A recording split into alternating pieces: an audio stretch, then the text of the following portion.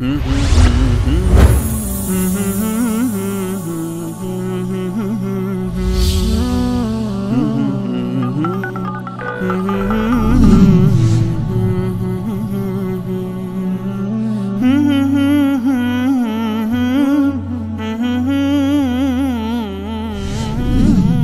استاد انصاری عزیز سلام خسته نباشید آقا پیرو صحبت که سردار خالیبندان و سردار سوتی دهندگان در ولایت انجام داد مخصوصا از این حرفای متناقض زیاد داده.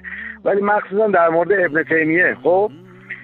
صحبت کرد و پشت سر هم حرفای متناقض زد و مطالب ابن تیمیه از مناج السنه یا جای دیگه آورد. ولی قبلش که ابن تیمیه نظر داده رو نیاورد و ناقص گفت و اونجوری که میل خودش بود تفسیر کرد. و شما و مولانا دهقان پشت سرم جوابشو دادین. و دستش رو شد فقط من مودم آقا عجیبه برای من. این, این کارا رو می‌کنه یعنی چهار تا دونه بیننده عادی هم که داره حرفاشو شاید متوجه نشن تلبیس و با خالی بندیاشو اونا رو از دست میده به مرور بعدا. چه برسه به افرادی که دقت می‌کنن. و اصلا برای من عجیبه این این کار می‌کنه فکر می‌کنه زرنگه. این کلا کل تلویزیون ولایت باد حواس آقا. تموم به کاره حالا خودش می‌دونه. یه شعر در مورد این سردار سوتی دندگان گفتم. ببین قابل توجه سردار قزوینی سردار سوتی دندگان نخند و با خنده هات بیننده رو دلخور نکن. نگو دلت پیش ماست دیگه تظاهر نکن.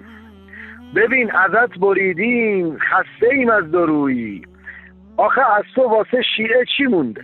به جز سوتی دادن و بیابرویی سردار تو لپتاپت ابن تیمیه یه چیزی میگه.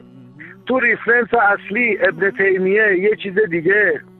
سردار ما دیگه فهمیدیم کدوم ابن تیمیه راست میگه.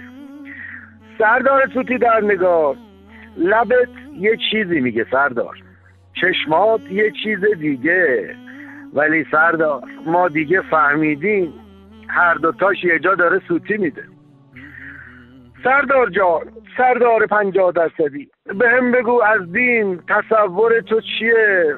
وقتی که رو ایری هدفت ضایع کردن کیه؟ جان من سردار تو می‌خوای خودتو ولایت رو ضایع کنی یا به قول تو وهابی ها رو می‌خوای ضایع کنی؟ اما فکر بیشتر داره خودتو ضایع می‌کنی. تناقض سردار جان از سرتاپای تو میریزه. تناقض از سرتاپای تو میریزه.